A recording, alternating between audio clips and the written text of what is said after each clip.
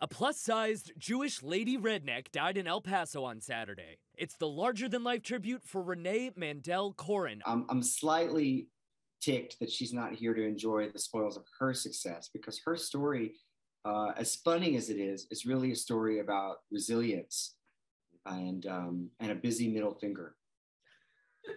Renee's son Andy publishing the homage to his mom in the towns where she spent most of her life. A more disrespectful, trash reading, talking, and watching woman in North Carolina, Florida, or Texas was not to be found. I wanted to make sure uh, that everywhere that she had friends and a friend group and cousins and families got the news that um, this great old scoundrel had left us. The eulogy, now read by millions. I find it very comforting. Most people don't get a chance to have their mother's name splashed in the Jerusalem Post or on ABC News. What would your mother say about all of this newfound celebrity?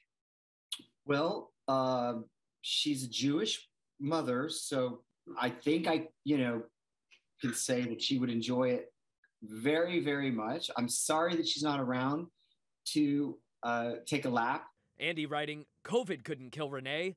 Neither could pneumonia twice, infections, blood clots, bad feet, breast cancer twice, or an affair with Larry King in the 60s. Was there ever a moment where you were like, I'm going a little too far here? I mean, yes. the whole time uh, I was writing it for her so that she could hear some of it while I, which, because, you know, I would share my writing with her over the years. And so she did laugh. And I thought, well, you know, I'll, I'll just keep going because it made her laugh. Andy saying he couldn't fit all of Renee's stories into what was published. Hers was a bawdy, rowdy life lived large, broke, and loud, but honored that it's touched so many, even in so few words. With, with really, with no hesitation, they would have loved her and she would have loved them.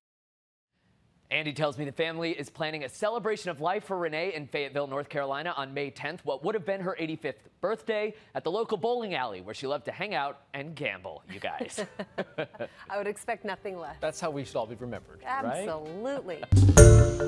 Hi, everyone. George Stephanopoulos here. Thanks for checking out the ABC News YouTube channel. If you'd like to get more videos, show highlights, and watch live event coverage, click on the right over here to subscribe to our channel. And don't forget to download the ABC News app for breaking news alerts. Thanks for watching.